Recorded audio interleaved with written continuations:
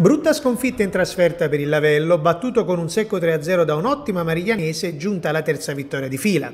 Il primo tentativo è però di marca ospite con Logolusa al quarto d'ora che finisce fuori. La replica dei Campani arriva 10 minuti più tardi con una bordata che si schianta contro il palo ma era tutto fermo per fuorigioco. Al 25 si rivedono i Lucani con un destro di Statella che sibila di poco al lato. Ma al 38 arriva il tapin di Aracri che sblocca il risultato e sul quale si chiude il primo tempo.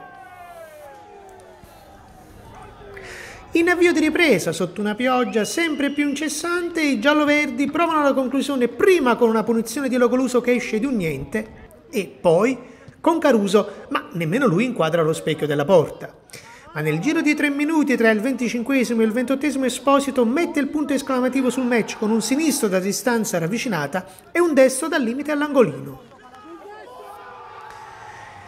Gli uomini di Zeman si innervosiscono e Bright si fa ammonire ingenuamente la seconda volta e viene espulso. Dopo questo KO il Lavello resta fermo a quota 24 ed esce dalla zona playoff. Poco fa la società ha messo fine alle voci di mercato che riguardano il bomber Burzio, ricordando che ha un contratto che scade a giugno del 2023 ed affermando pertanto l'incedibilità del centravanti argentino.